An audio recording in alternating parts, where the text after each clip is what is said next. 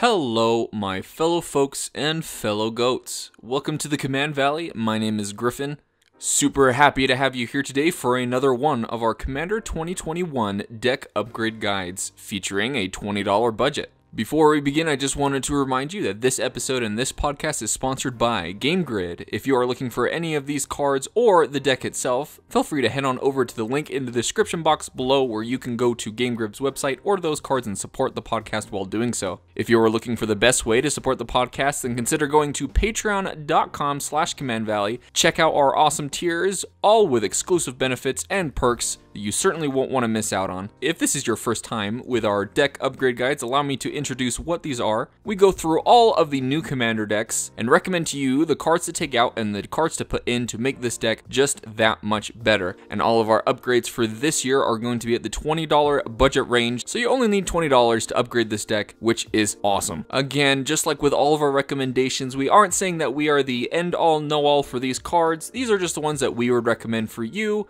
to look at and consider putting into the deck to upgrade it. You might have other cards that you want to put in, and by all means, go ahead and put those in. This is just a helpful guide to help you get started in the upgrade. Now, the leader of the Silverquill Statement Commander 2021 deck is Breena the Demagogue who is one white black for a 1-3 legendary creature bird warlock. She has flying and whenever a player attacks one of your opponents, if that opponent has more life than another of your opponents, that attacking player draws a card and you put 2 plus 1 plus 1 counters on a creature you control. But in the Silverquill statement deck, we also got another face commander named Felisa Fang of Silverquill. Felisa is 2 white black for a 3-2 legendary creature vampire wizard with flying and mentor, and whenever a non-token creature you control dies, if it had counters on it, create X tapped 2-1 white and black inkling creature tokens with flying, where X is the number of counters it had on it. Now, I did a lot of thinking about this deck, looking between Breena and Felisa, and I came to the conclusion that Felisa would be better as the front face commander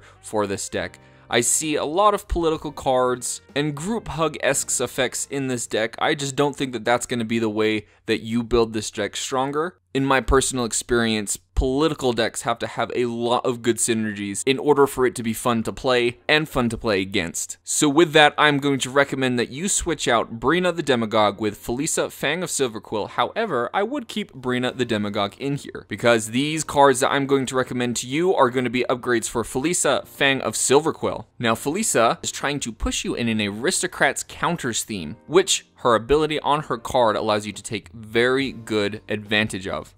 Before we get to the cards that I recommend that you put in, here are the cards that I recommend that you take out. I won't go into a lot of detail with all of these, just know that I personally didn't feel like these had a place in this deck and there were better options. However, if one of these are your pet cards, then by all means keep it in your deck. We have Gideon, Champion of Justice, a Planeswalker that has the ability to put loyalty counters equal to the amount of creatures target opponent controls, can also exile all other permanents for a minus 15 cost, doesn't do much in our deck or synergize well with our commander. Oblation is 2 and a white for an instant, the owner of target non-land permanent shuffles it into his or her library, then draws two cards. Probably one of the worst removal spells I've seen. Never enjoyed playing this, so we're just gonna go ahead and take that out. Coveted Jewel is six mana for an artifact. When it enters the battlefield, draw three cards. Tap, add three mana of any one color, and whenever one or more creatures an opponent controls attack you and aren't blocked, that player draws three cards and gains control of Coveted Jewel. Untap it. I just don't like this card. You're incentivizing your opponents to attack you. You might not even gain control of it back. Just not a good card.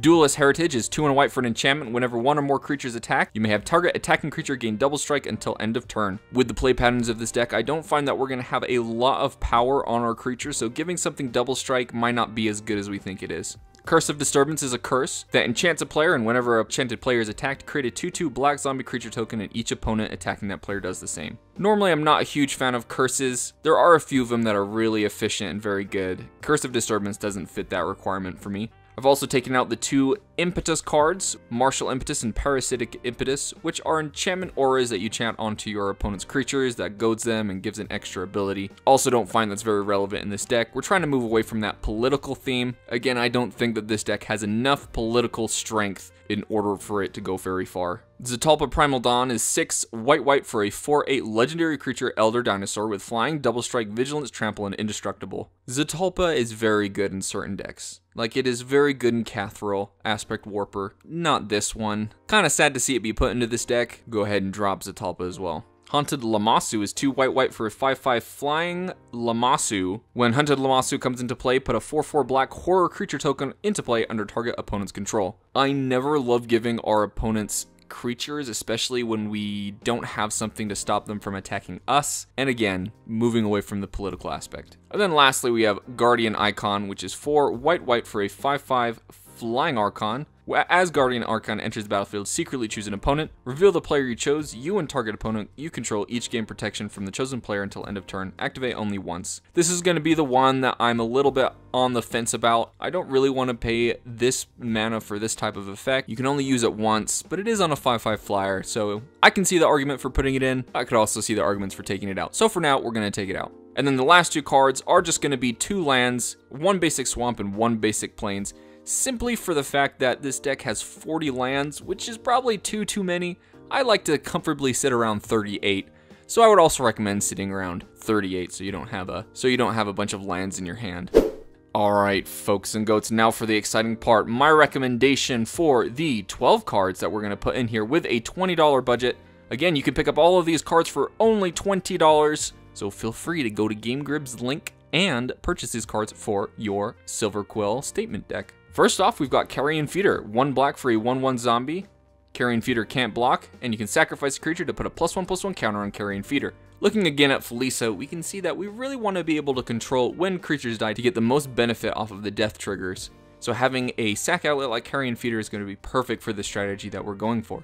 Next up, we've got Corpse Knight, which is white black for a 2-2 zombie knight. Whenever another creature enters the battlefield under your control, each opponent loses one life. This is how we push into the Aristocrats theme by having Corpse Knight to drain all of our opponents when a creature's entered the battlefield, including the tokens that are going to be created from Felisa, you'll be surprised by how much life this is going to drain from your opponents. We also want things to die and trigger, so we have Zulaport Cutthroat. For 1 in a black, we have a 1-1 human rogue ally. Whenever a Zulaport Cutthroat or another creature you control dies, each opponent loses 1 life and you gain 1 life. So it's just the other side of Corpse Knight. Anything entering, Corpse Knight will trigger. Anything leaving, Zulaport Cutthroat will trigger. Anafenza Kin-Tree Spirit is white white for a 2-2 legendary creature spirit soldier. Whenever another non-token creature enters the battlefield under your control, bolster 1. Very efficient in this deck because we want to put plus 1 plus 1 counters on our creatures so that when they die, we get those 2-1 Inklings. And Anafenza is a very cheap way of assuring that as soon as they come out, they will get a plus 1 plus 1 counter. Mentor of the Meek is 2 and a white for a 2-2 human soldier. Whenever another creature with power 2 or less enters the battlefield under your control, you may pay 1 generic if you do draw a card. This is very, very good with our commander because we are creating two 1 Inklings when our creatures die, which are going to trigger Mentor of the Meek, and we could be potentially drawing lots of cards with Mentor of the Meek, so it's a nice engine to put in here. Basri's Lieutenant is 3 and white for a 3-4 human knight with vigilance, protection from multicolored. When Basri's lieutenant enters the battlefield, put a plus one plus one counter on target creature you control. And whenever a Basri's lieutenant or another creature you control dies, if it had a plus one plus one counter on it, create a 2 2 white knight creature token with vigilance. This is doubling up our ability to make creature tokens when our creatures die with plus one plus one counters on it. So with some setup, we can get a lot of tokens out when our creatures die. Nightmare Shepherd is 2 black black for a 4 4 enchantment creature demon. With flying, and whenever another non-token creature you control dies, you may exile it. If you do, create a token that's a copy of that creature, except it's a 1-1, and it's a nightmare in addition to its other types. This can be very good for getting those ETB triggers a second time when they die, but if you read carefully in Nightmare Shepherd, it reads, whenever another non-token creature you control dies, you may exile it. It does not say you may exile it instead, so we're still to get those death triggers for our commander and get token copies of those creatures when they die. Big fan of Nightmare Shepherd. Felidar Retreat is 3 and a white for an enchantment with landfall. Whenever a land enters the battlefield under your control, choose one, create a 2-2 white cat beast creature token, or put a plus 1 plus 1 counter on each creature you control.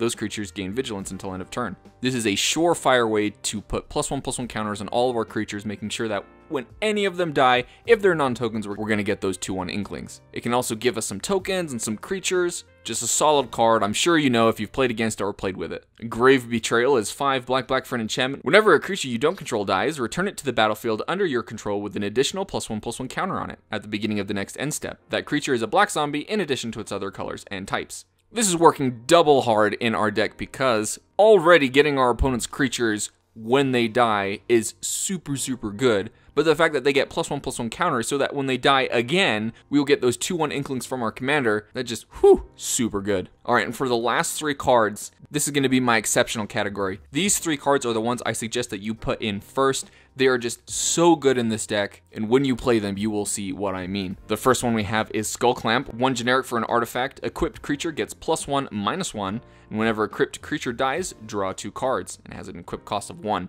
So those Inkling tokens that we are making with our commander, we can just clamp them for one generic and draw two cards. Oh my goodness. If you've played with Skullclamp and you have tokens, you can draw so many cards. And I do see that this deck does kind of struggle with card draw, so it's very important that we have an engine in here like Skullclamp. Secondly, we have Cathars' Crusade for three white white. We have an enchantment. Whenever a creature enters the battlefield under your control, put a plus one plus one counter on each creature you control. Cathars' Crusade can just go nuts in so many different types of decks, and this deck is no exception. With creatures entering the battlefield, they immediately get a plus one plus one counter on them with all the rest of your creatures on the battlefield. And when they die, you create two one Inklings that also trigger Cathars' Crusade, putting a plus one plus one counter on them and all of your other creatures. Just so good. It's so good and it's only five bucks right now. So you should pick this up. Even if it's not for this deck, pick this card up. And then lastly, we have Teysa Karlov, two white black for a 2-4 legendary creature human advisor.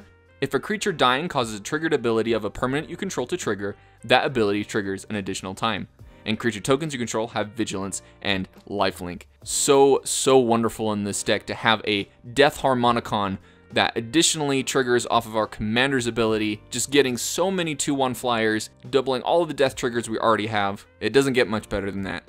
And there you have it, friends. Those are the cards I recommend to put into this deck around a $20 budget. If you have any cards you would recommend to us or to your fellow goats, then feel free to comment it in the comment section below. We love hearing from you seeing how excited you are for these decks, and we're super excited to pick these up, as I'm sure you all are as well. We will be back soon for our next deck upgrade guide, so stick around and stay tuned for those ones as well as all the other Commander deck techs that are going to be coming out in the next couple weeks. Alright my goats, if you haven't already liked and subscribed, feel free to do so. We really appreciate it and appreciate all of you who have subscribed and supported us this far. And without further ado, I will see you all next time.